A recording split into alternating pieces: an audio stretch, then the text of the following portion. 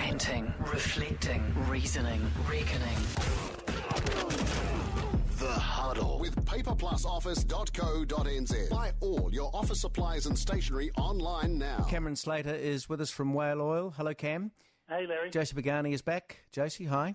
Hello. Cameron, issue number one, the America's Cup. Team New Zealand stun Oracle in the first three races but dropped the fourth. How's it looking for you, Cam?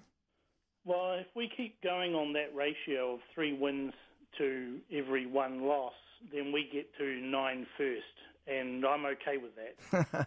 yeah. Josie, I, I say it's not over till the fat lady sings, and I'm a bit worried uh, after Oracle's last race, but let's see what happens. Yes, I know this is a very girly thing to say, but I was almost glad that Oracle won a race today because it makes it competitive. I mean, I watched that first race on Sunday because the first race was when we knew which boat was faster, and it was electrifying. And now I feel that because Oracle have won, now I'm nervous, and now I want to know that, mm. that they're going to keep winning. But, um, it's, but it's a competition competition.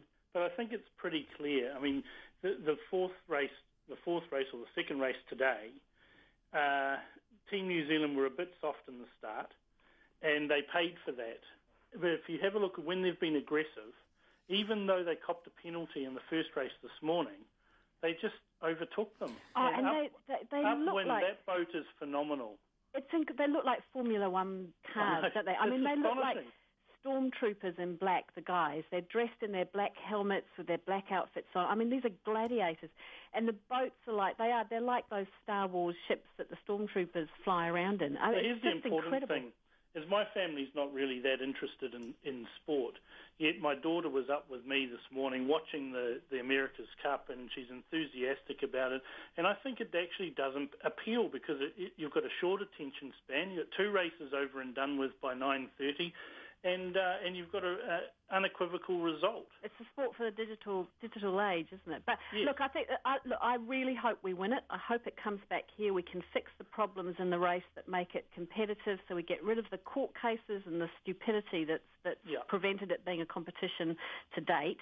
Um, but also, I want to see what the gains are for New Zealand when it comes if it, if it comes here. Well, there'll and be massive I, gains. We've already will. gained hundreds of millions of dollars, even though it's not in New Zealand, through boat building, through technology, through skills transfer. All but I'd like to see more of that, Ken, because I reckon we're we're positioned to be. You know, I've said it before, but a Fonterra type size uh, boat building company with the kind of world leading design and R and D. And if we can, you know, I'm fine using taxpayers' money to invest in that. It's a good it's a good diversification of the economy. All right. You know, I want to see more of that. Uh, I think there is cause to be optimistic, but I wouldn't be breaking out the champagne just yet. We'll come back in just a moment. Josie Pagani and Cameron Slater on the huddle. It's 16 to 6 and News Talk ZB. It is now 14 Larry Williams Drive with the new ANZ, the bank that gives you more. And we're back on the huddle. Josie Pagani and Cameron Slater. Issue number two, Josie. The Aussie election landslide, predictable, Labor pretty much imploded.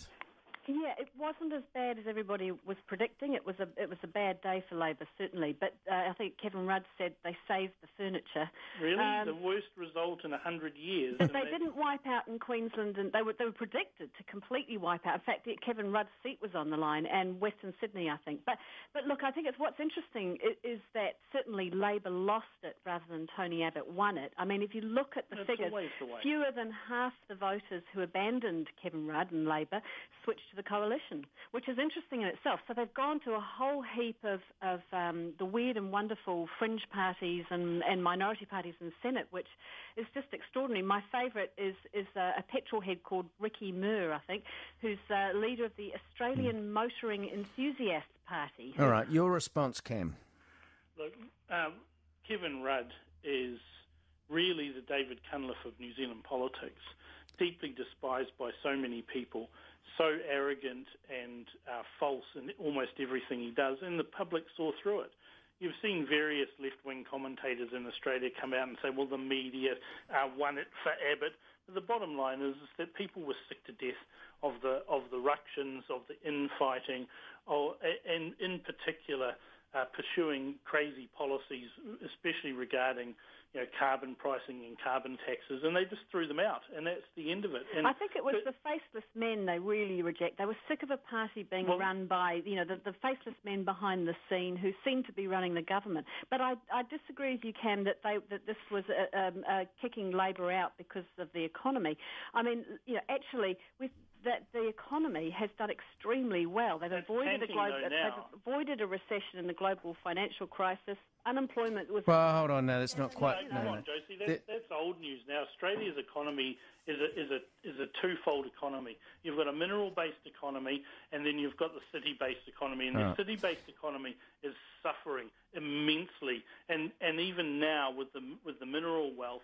Uh, it's really suffering. If you've got no people that are over there, they're not having a whole heap of, of fun in Australia. yeah, Right. they've done better than us. No, no. Well, actually, we're on the global competitiveness. The report out last week, Josie, we're actually uh, ahead of them. They they were free of debt when Labor went into government, and now they've got their billions and billions. Mind you, they threw fifty billion away. And The Green Taliban Yep. has not worked for Labor Okay. at all. It's a poison chalice. Josie, Labor candidates roadshow here, looking like uh, Mr. Cunliffe has the unions, um, Mr. Robertson maybe the caucus, but Wilting and Mr. Jones. Well, who would know? Well, it's it's fascinating. Yeah, certainly David Cunliffe is is leading the polls at the moment, and it looks like it's going to go his way. But it could still go anyway. And I'll give you an example that um, even though I heard you earlier talking about Shane Jones, and certainly he needs to tone down some of that rhetoric and. Uh, and it does sort of turn some people off. But it actually, he's talking to a whole heap of people who have abandoned Labor, who would come back to Labor because they, if they had someone like him talking about you know, pro-development, jobs, and progress. And, and one example tonight, uh, the Te Karere poll on um, Māori TV shows that Māori voters want Shane Jones by more than two to one. So, uh, Oh, well, you know, okay. he's appealing to people. Cameron, okay, string, lot of time. stringing the Prime Minister up, the sexual innuendo, I think he's proving he's not Prime Minister material. This is Mr. Jones. What do you say?